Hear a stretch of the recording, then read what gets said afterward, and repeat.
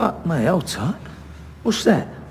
It's me belt Turkish. No, Tommy, there's a gun in your trousers. What is a gun doing in your trousers? It's for protection. Protection from what? The Germans?